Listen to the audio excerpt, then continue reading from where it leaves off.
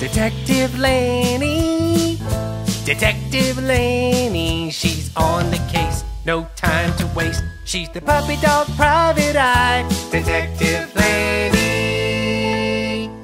Detective Leni. Today started out as a normal day. I was out on a walk with Ma Pup and Ma'am. I stopped to take care of a little business at my favorite corner. And that's when my puppy instincts told me that something was wrong. My poo was gone, vanished, quicker than a piece of cheese that falls on the kitchen floor. Now, I hung up my puppy detective hat a long time ago, but something about this just rubbed me the wrong way, kind of like when mom brushes me after a puppy bath. I didn't have a choice, and so began the case of the missing poo. Detective Leni.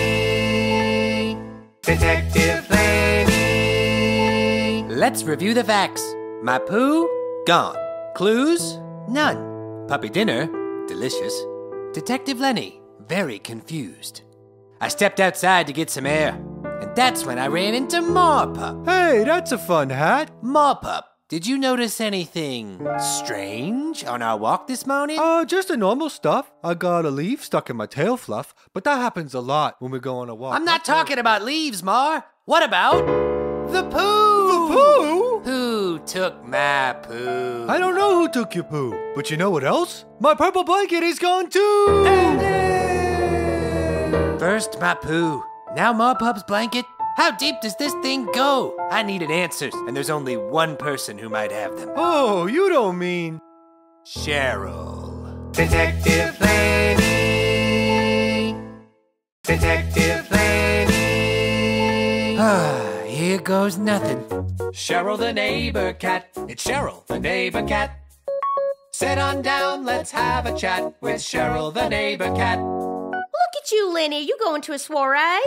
My poo disappeared from the yard at the end of the street at exactly 8:35 this morning.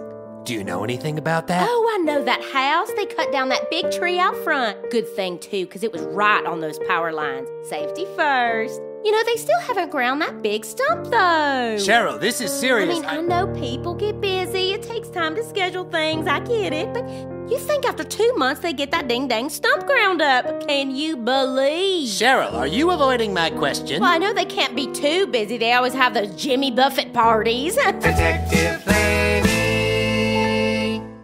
Detective Leni. I had hit a wall in the case of the missing poo. My puppy instinct suggests that Cheryl is our top suspect, but I had no evidence. The only thing I did know, my poo was gone, and with it, my last bit of hope. Oh no. Where did my poo go? What's a puppy dog sleuth to do? I can't find my poo. Oh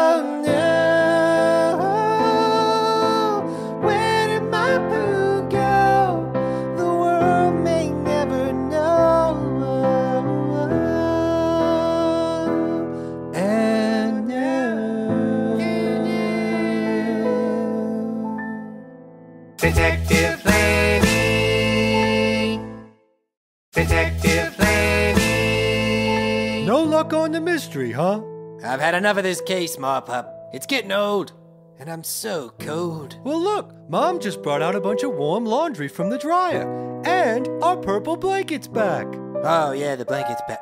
Wait, what did you just say? The purple blanket's back. Oh, wait a minute. Vanished. Quicker than when a piece of cheese falls on the kitchen floor. My purple blanket is gone too. Can you believe? Leni! Leni, are you okay? Marpup, you're a genius. Oh, yeah, I'm a genius pup. Wait, I am? Yeah, you are. And I know what happened to my poo. Detective Leni. Detective Leni. I don't believe it. Believe it, Mar. It was Mom who's been taking our poo. She was right there at the scene of the crime. I don't know why I didn't think of it sooner.